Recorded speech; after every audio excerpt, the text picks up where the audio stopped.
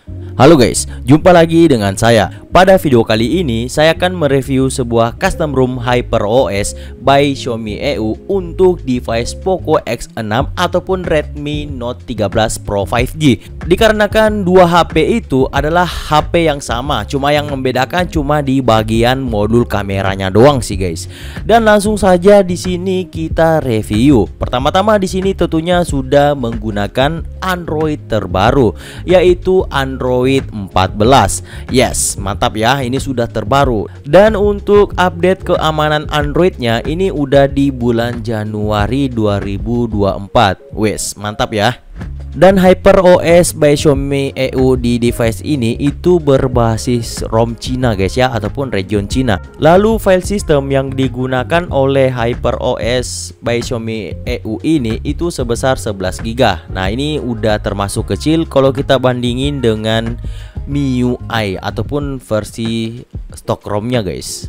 Ya, dikarenakan aplikasi bloatware-nya ataupun aplikasi bawaan dari HyperOS by Xiaomi EU ini itu terbilang sangat minim guys ya.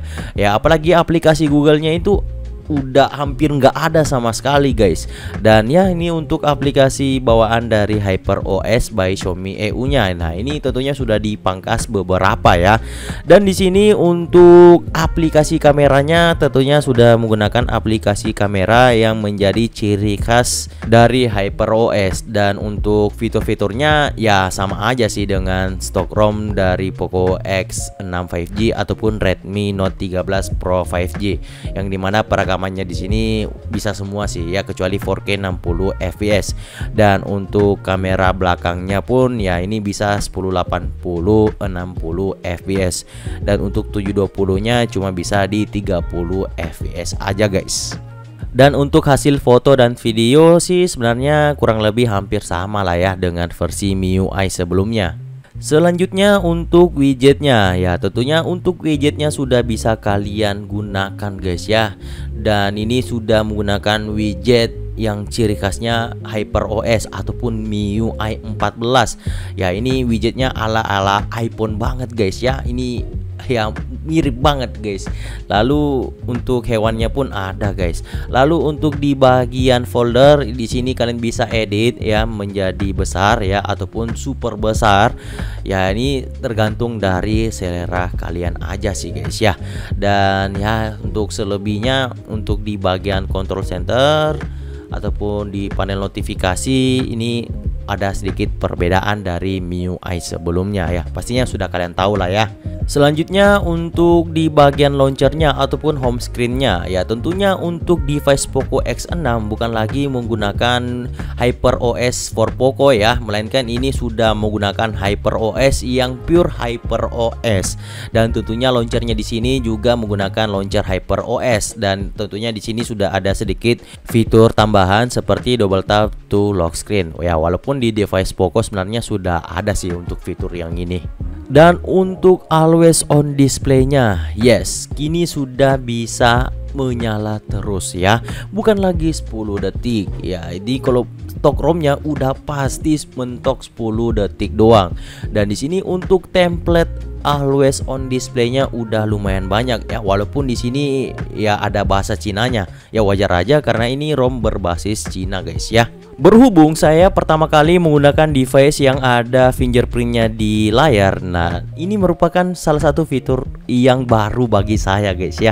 Karena di Poco F5 saya itu nggak bisa dong ya. Karena fingerprintnya itu di samping coy. Di situ kalian bisa ganti-ganti animasinya Selanjutnya fitur khas dari HyperOS yaitu fitur kustomisasi yang ada di lock screen. Tapi sebenarnya bukan cuma di HyperOS doang sih ya. Yang penting sudah menggunakan Android 14 saya rasa uh, eh, OS mana pun ini sudah ada fitur kustomisasinya. Cuma di HyperOS ini template-nya lumayan menarik guys ya. Sayangnya ya karena ini adalah ROM berbasis Cina Sudah pasti nggak ada bahasa Indonesianya yang menjadi nilai minus buat kalian yang belum terbiasa menggunakan bahasa Inggris di device-nya. Jadi ya kalian mungkin harus berpikir lagi kalau misalnya kalian nggak bisa berbahasa Inggris. Untuk ketahanan baterainya, hmm, berhubung Poco X6 ini bukan daily driver saya, jadi saat saya ngetes performa, tes gaming, ya ini tersisa 18% guys ya. Intinya kembali dari kalian masing-masing. Kalau misalnya penggunaan kalian boros ya bakalan boros, kalau hemat ya bakalan hemat guys. Karena setiap orang itu penggunanya berbeda-beda. Sekarang kita lanjut untuk pengujian performa. Pertama di sini ada Antutu benchmark versi 10.2.1 dengan hasil skor di angka 563. Ya ini untuk hasil skornya sih hmm, B aja ya, nggak begitu tinggi dan nggak rendah. Lalu ada 3D Mark dengan pengujian real life. Dan di sini saya sudah ngetes dan mendapatkan hasil skor di angka 3037. Ya, ini untuk hasil skornya sih ya B aja juga sih, guys. Lalu ada Geekbench 6 dengan hasil skor di angka 1018 dan untuk multicore-nya di 2620. Dan yang terakhir ada CPU throttling dengan settingan 100 Street. Di sini saya sudah menguji selama 15 menit alhasil no CPU thermal throttling detected. Yes, ini cukup stabil, tapi perlu diingat ini saya ngetesnya di kondisi ruangan ber-AC plus lagi hujan guys, lagi dingin-dinginnya. Sekarang kita lanjut pengetesan gaming. Nah, di sini ada tiga game guys ya. Ada PUBG, Mobile Legend beserta Genshin Impact. Untuk yang pertama di sini ada game Genshin Impact ya dengan settingan grafik rata kanan guys ya, rata kanan highest 60 FPS.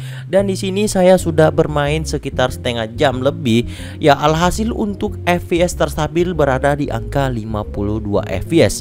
Wow, ini saya cukup terkesan sih guys ya. Ini lumayan ngangkat di atas 50 fps ya cuma kalau misalnya lagi battle ya lagi-lagi dia ngeframe hingga 40-an fps ya tapi kalau lagi story sih ya kuat di atas 50 fps cuma perlu kalian ingat suhunya ini sangat panas guys ya di 47 derajat celcius Selanjutnya ada Mobile Legend dengan settingan grafik rata kanan juga guys ya. Ultra 120 fps Nah ini untuk fps-nya saya unlock menggunakan modul guys ya. Dan di sini saya sudah push rank selama 23 menit guys ya. Lumayan lama cuy. Nah untuk fps rata-ratanya yang paling stabil itu di 100 fps guys ya. Ini di atas 100 fps sudah sangat enak dan sangat stabil. Cuma di sini suhunya udah panas-panas sedikit guys ya 4 dan yang terakhir ada PUBG Mobile dengan settingan grafik smooth 90 fps. Ya, lagi-lagi di sini saya unlock menggunakan modul ataupun root guys ya. Dan ya di sini saya bermain di map Livik ya 14 menit. Ya tentunya ini sangat ringan guys ya Masih sangat kuat diangkat oleh device Poco X6 5G ataupun Redmi Note 13 Pro 5G Ya ini mantap sih guys Oke, sekarang kita masuk ke tutorial penginstalan custom ROM Hyper OS by Xiaomi EU untuk device Poco X6 ataupun Redmi Note 13 Pro 5G. Nah, pertama-tama di sini pastinya kalian menggunakan custom recovery yang sudah saya buatkan tutorialnya kemarin, guys. Dan di sini pastinya kalian sudah mendownload filenya dan masukkan ke dalam. Dan setelah itu kalian tinggal klik filenya dan untuk centang-centangnya kalian biarin aja seperti ini dan langsung saja kalian swipe dan dan kita tunggu sampai selesai guys. Nah, di sini udah selesai untuk instalasinya sudah successful. Nah, sekarang kalian kembali ke menu awal lalu masuk ke reboot lalu masuk lagi ke recovery. Setelah reboot recovery, sekarang kalian masuk ke menu wipe lalu pilih format data lalu kalian ketik yes. Lalu kalian pilih di pojok kanan bawah centang biru. Setelah itu kalian kembali lagi ke menu awal, masuk lagi di menu wipe lalu pilih advance wipe lalu kalian centang semua kecuali internal data dan USB storage. Lalu kalian swipe dan yes, ini sudah successful. Kalian reboot sistem dan kalian sudah berhasil menginstal custom roomnya guys. Oh ya, sedikit informasi untuk HyperOS by Xiaomi EU ini khususnya di device Poco X6 5G dan juga Redmi Note 13 Pro 5G itu sinyalnya ngebug guys ya kayak image keblokir Tapi tenang saja, nanti saya akan kasih tutorial bagaimana cara mengatasi hal tersebut. Ini sangat gampang, yang penting kalian punya PC-nya aja dan siapkan bahan-bahan yang sudah saya siapkan di deskripsi. Kalian tinggal download dan pindahkan ke PC. Nah, oke, kita langsung pindah ke laptopnya, guys. Nah, sekarang kita sudah ada di dalam PC-nya ataupun di dalam laptopnya. Dan sekarang kita siapkan dulu bahan-bahan yang sudah saya siapkan di deskripsi. Jadi di sini ada tiga file, guys. Di sini ada PDANet yang di mana ini berfungsi supaya device kalian itu bisa terdeteksi di PC ataupun di laptop. Nah, di sini berhubung saya sudah install, makanya saya nggak install lagi, guys ya. Kalau kalian belum install ya silahkan kalian install terlebih dahulu. Yang kedua, filenya ini adalah file yang akan ngefix device kalian, guys ya, untuk sinyalnya yang hilang. Dan untuk file yang ketiga yaitu platform tools. Nah, ini file yang ngefixnya kalian masukin ke dalam folder platform tools ini, guys. Nah, seperti ini. Nah, kalau udah masuk seperti ini, sekarang untuk di device-nya silahkan kalian masuk ke mode fastboot. Saya rasa kalian mungkin sudah tahu semua ya. Kalau misalnya kalian nggak tahu bagaimana caranya, kalian tinggal reboot aja ataupun restart device-nya. Nah, kalau udah hilang loading-loadingnya ini, kalian tekan dan tahan volume bawah sampai masuk mode fastboot. Nah, ini kita tunggu. Oke, di sini sudah masuk mode fastboot. Nah, ini udah masuk. Nah, sekarang kalian tinggal colokin untuk device-nya ke laptop guys ya. Nanti akan secara otomatis ke deteksi di komputer. Nah sekarang kalian tinggal ketik aja CMD di kolom pencarian di sini. Lalu pertama-tama kalian masukkan perintah fastboot devices. Nah pastikan di sini sudah muncul kode-kode kayak gini. Nah ini pastinya sudah terdeteksi. Kalau misalnya belum terdeteksi seperti ini berarti driver kalian masih bermasalah guys. Sekarang kalian masukkan lagi perintah fastboot ya. Flash modem lalu kalian drag and drop file fix yang tadi guys. Yang ini. Ya mana tadi tuh? Nah ini. Nah kalian drag and drop masuk ke dalam CMD ini. Nah nah kalau udah langsung saja kalian enter dan kita tunggu. Ya ini kita tunggunya nggak sampai semenit kok ya. Lumayan cepat Oke, udah selesai. Nah, ini udah finish dan sekarang kalian tinggal masukkan perintah terakhir yaitu fastboot reboot. Ya, ini biar device kalian nge-reboot guys ya ataupun nge-restart guys. Nah, ini udah restart ya untuk HP-nya. Jadi kita tunggu sampai nyala. Oke, di sini device-nya udah nyala dan boom, ini untuk sinyalnya udah bisa guys dan tentunya ini udah bisa nyalain data seluler. Mantap ya. Nah itulah tadi review custom room Hyper OS by Xiaomi EU untuk device Poco X6 beserta Redmi Note 13 Pro 5G Nah ini ribet banget guys ya karena dua HP langsung disebut coy.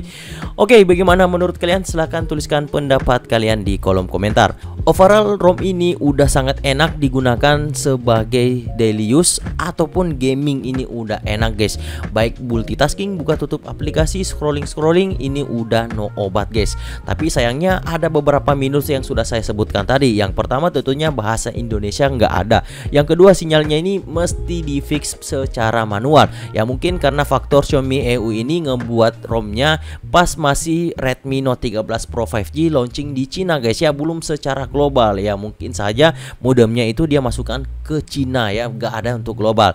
Tapi untuk Xiaomi EU ini menjadi ROM andalan saya. Bahkan untuk device Poco F5 saya itu menggunakan Xiaomi EU juga ya Hyper OS by Xiaomi EU oke saya rasa cukup video sampai di sini semoga pada video kali ini bisa memberikan manfaat dan informasi tambahan buat kalian semua dan mohon maaf kalau videonya kepanjangan karena ada tutorial fix sinyalnya tadi. Oke, saya akhiri videonya. See you guys.